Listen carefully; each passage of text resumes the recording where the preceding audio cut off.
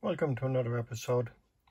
Now here we have a Apple Airport Extreme router and if you just have a listen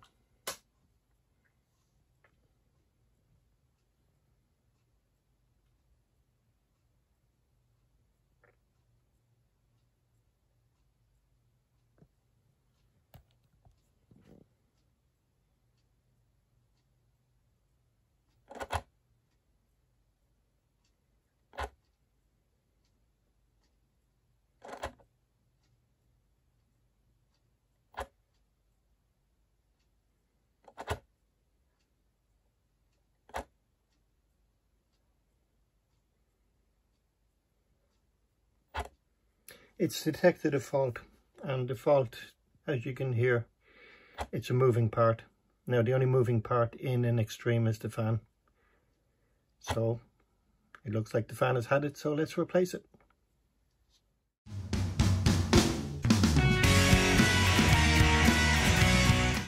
In the previous video the link is below. I showed you how to do a deep clean on an Apple Airport Extreme. So what you do is make sure it's unplugged, turn it right around, and with a metal spatula, just put it in gently, not too far down, and then just pop that up. And holding that, get another one.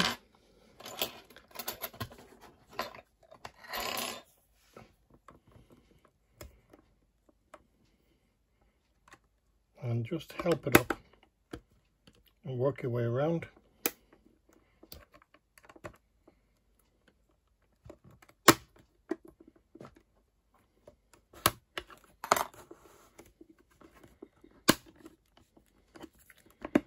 And it should just pop.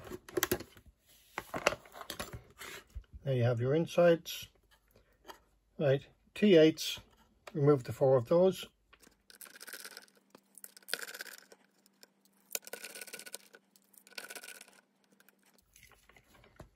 And before you remove the plate here just undo the little tabs and you can remove the power supply. Just pull it up and out of the way. And then you'll see the little connectors in here with a plastic spatula. Just go in behind them and just gently prise them out. That's one two three,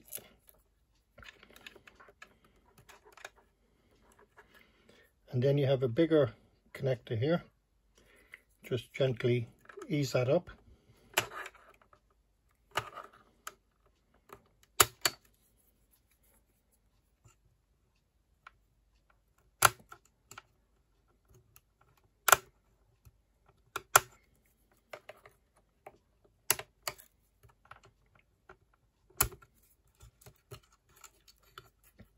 and pull it off to one side.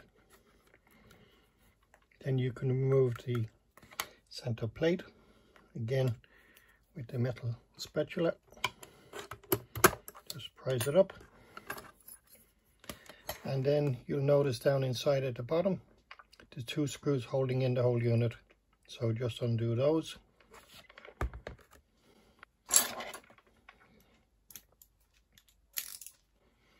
Now lucky enough all of them are T8s. And then just pull the whole unit out, press it together and lift.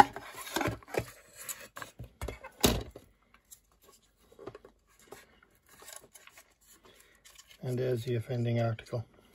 Now, just looking at that there, look. It's all over the place. It's totally had it. That shouldn't do that. That should spin freely and quietly. Now holding it on is again three screws and they're T8s just follow the little cable from the fan. It brings you up to a top and it's what it just so happens it's one of the cables that is connected at the top. Just peel back the little rubber here. And again using the T8s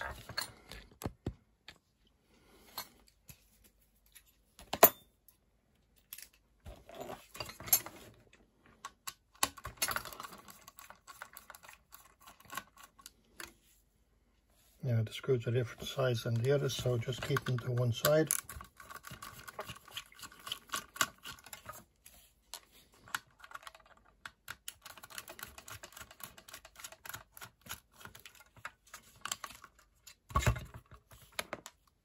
And then just lift the fan out of it. And you can see it's all over the place.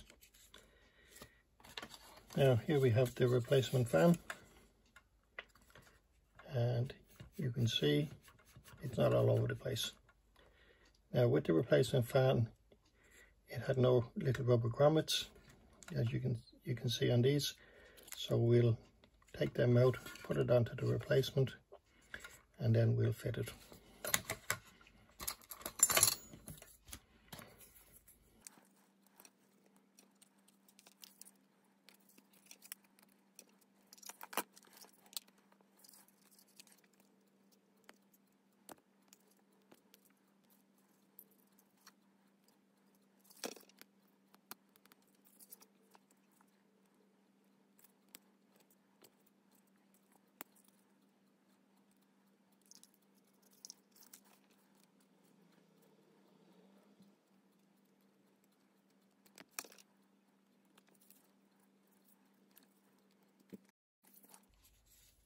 Yeah, little grommets are in place. They also helped as a to soften the vibration coming from the fan into the unit. It's like a some kind of a dampener. Now just put the screws into place.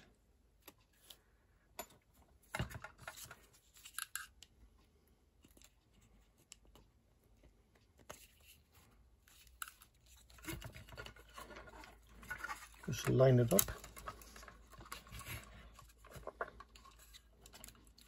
Feed a little cable underneath and screw it down.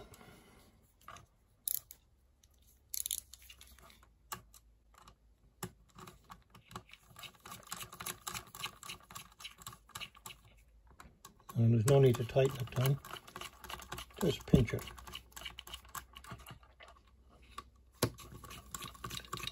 Shock absorbers is probably another word for these little grommets. Yeah, just again pinch it and maybe just a little more. Just feed that back up again. Comes back over the top and we're ready to reassemble and test. Don't forget when you're putting this plate back on, make sure it's actually sitting inside the chassis of the unit because if it doesn't it just won't fit very right and you won't be able to close it down very well. Now the fiddly bit is to get all these little connectors back on but you can't really make a mistake because the smallest one here is a 2 followed by there's a 4 there and there's a 3 there and then you have your big plug. I generally start off with the smallest one here and using fingers and possibly a spatula and I just line it up and then it just presses directly down onto the connector. That's for the 2, 3 and 4. With this one here you slide it in and it pushes down. Again they can only go one way and it might take a little bit of uh, fiddling about, but you should get it. And if you don't, when you go to power it up, you're not, it's not going to work. So we'll go ahead and do that and then put the base back on and test it. It's back together again. And when you're putting the lid back on, or the base, just look at the writing there and match it up with the power supply. Now, power it up and I'll connect in Ethernet cable a power supply.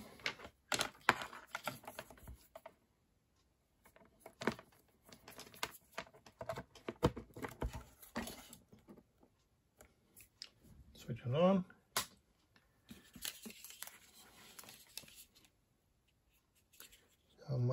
And I'm just going to, going to pull this apart.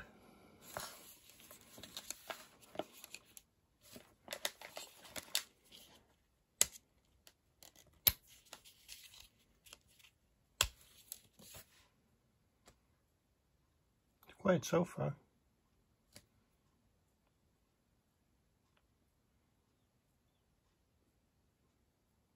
Doesn't seem to be making any noise and looking for a signal and there we go. Uh, looks like I'm not going to have time to pull this apart but uh, I hope you enjoyed it don't worry about that. These things, you only have to look at them and they start picking up dirt. So, well, if you enjoyed it, you know, give us a thumbs up, even two of them. Feel free to drop a comment, like, share and subscribe. And we'll see you again soon. Oh yeah, you'll also find us on the usual social media platforms. Thank you.